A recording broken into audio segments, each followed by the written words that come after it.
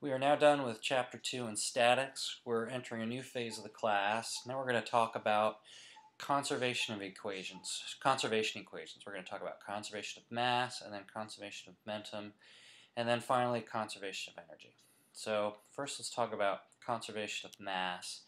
To do this we need um, a mathematical construct to work with first. So first we're going to talk about control volumes. And the reason we need to do this is with um, you know, in physics and statics and dynamics, you've you've looked at the motion of objects, and objects are fairly easy to work with because they're discrete and and you can track their movements and you can follow them. With fluids, it's a lot more complicated because they deform, they're continuous, and the, the molecules are constantly rearranging themselves even within the flow. So how do you talk about a block of fluid and how it moves. And the way we're going to do that is with a control volume. Let's say we've got flow down a pipe, shown here. If we want to talk about conservation of mass or conservation of momentum of that fluid flow, the way we do that is first we set up a control volume. So we, we define a, sec, a, a section in space as our control volume.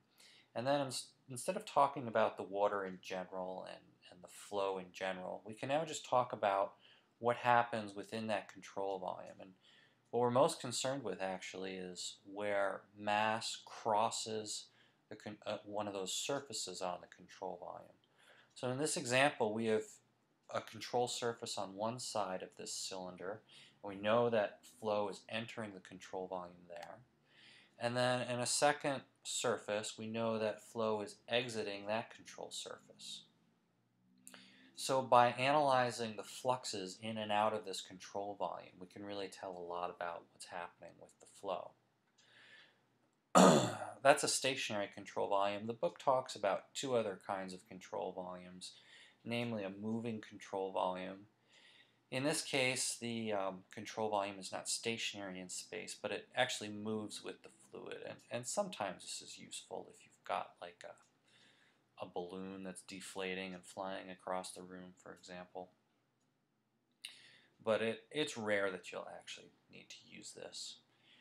Um, the other type of control volume the book defines is called a deforming control volume, and this control volume changes in volume or shape to match the fluid. The book spends a fair amount of time on this, and the mathematics are, are quite complicated. Um, to be honest, I, I would never use one of these.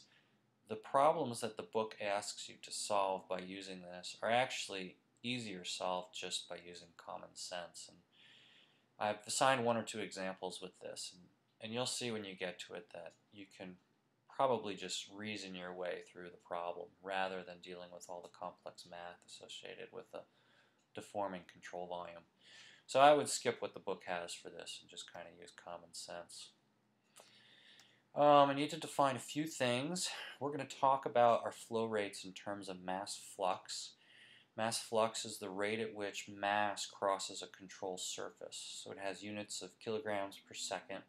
And it's how much mass of, of water or whatever fluid you're talking about crosses a certain point per time. We can also talk about flow rate, and I'm sure you're familiar with flow rate. This is the rate at which the volume of a fluid crosses a control surface. So mass flux and flow rate are related. Flow rate deals with volume, whereas mass flux deals with mass. Um, flow rate can be calculated by the velocity of the fluid as it crosses this control surface and that cross-sectional area. Mass flux can be determined by the density times that flow rate. And then if you um, substitute in further, it's the density times the velocity times the cross-sectional area.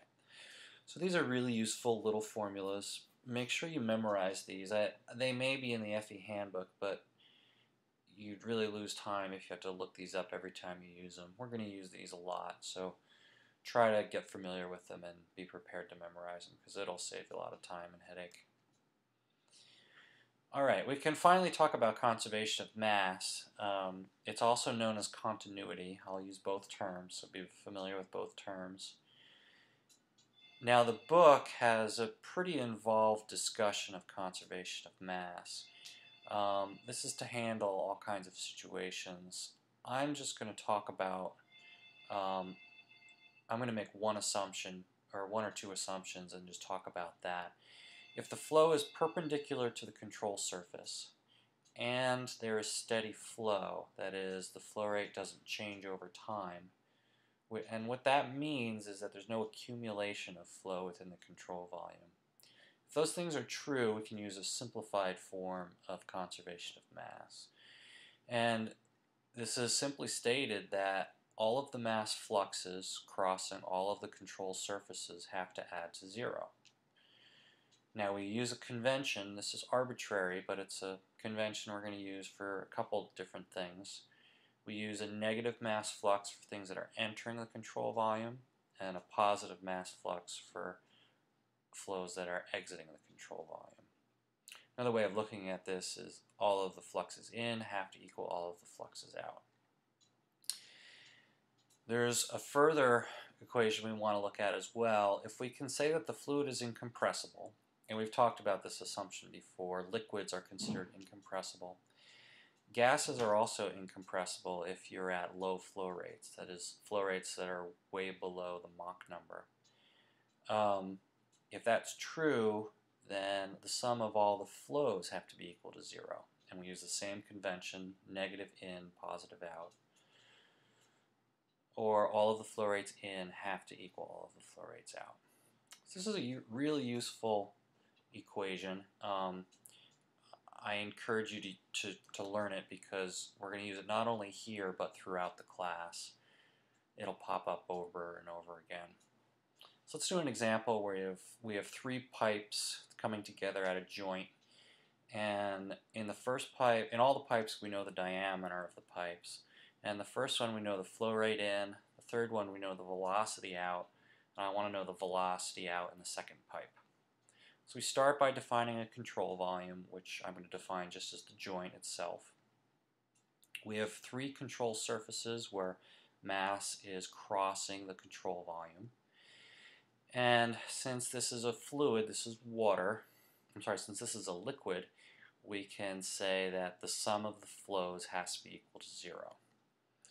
So let's go through that. Um, we have three flows crossing control volumes. Flow rate 1 is entering, so it's negative. Flow rates 2 and 3 are exiting, so they're both positive. Now, we don't know flow rates 2 and 3, but we know the velocity of 3, and we're looking for the velocity of 2. So rather than using Q, I'm going to use velocity times area for those two. So we've got our equation we, that we can solve. Um, let me take a few more steps. Flow rate 1 is in gallons per minute. Let's convert that to um, cubic feet per second. Um, and we can do that. And then we need to know the areas for 2 and 3, or just we just have diameters. So they're the same diameter, so we use pi r squared, have to convert inches to feet, and that gives us the cross-sectional area of those two pipes. And now we can solve for V2 and simply plug in our numbers, and that gives us a velocity in the second pipe of 51.7 feet per second. Okay, so that's a straightforward example of application of conservation of mass. Let's do one that's a little more tricky. We have, again, a joint of three pipes, and one of them entering is water. The other one has a different density. It's alcohol that's entering. We know those two flow rates, and we want to know the density of the mixture coming out. So again, we start by defining a control volume. We have three surfaces where we have flux crossing, and we can write conservation of mass um, for those three surfaces. Pipes 1 and 2, the flow, the flux is entering the control volume, so they're negative. Pipe 3, it's positive. and we can talk about them in, them in terms of density times the flow rate. Now we know density and flow rate for 1 and 2, or at least we can look it up for water, and we know what it, we're given what it is for alcohol then. Um, but for 3, we don't know the density and we don't know the flow rate, so we've got two unknowns. we can write another equation because these are liquids the, the fluids are incompressible they have different densities but they are still incompressible so we can still make the incompressible assumption so we can say that the sum of the flow rates have to be equal to zero as well use the same sign convention and we, we know the two flow rates in, so it becomes easy to solve for the flow rate out. So our flow rate out is 0.4. We now have only one known in our equation. We can solve for rho 3, and that gives us a density of 849 kilograms per meter cubed of the mixed liquid. All right, so that's conservation of mass. That's about as hard as it gets. Um, but don't overlook this. It's, it's, a pretty simple topic, but it's something we're going to use over and over again. So make sure you, you get it down because you will definitely see it again.